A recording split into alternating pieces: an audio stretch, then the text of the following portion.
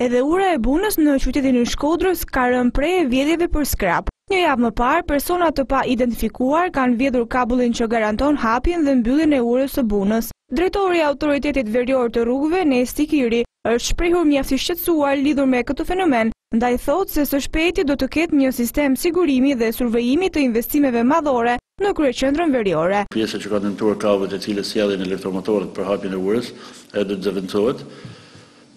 Gjithashtu, Drejtoria e Përgjithshme e Rrugëve po merr masa që brenda buxhetit të sivjetëm të krijohet një mundësi edhe për ruajtjen e kësaj, sepse është një pasuri tepër e vyshme jo vetëm për rrethin e Shkodrës, por është për gjithë Shqipërinë, sepse është një urë kalimi që lidh gjithë Shqipërinë me pjesën tjetër të Europës apo që fillon nga Mali i Zi.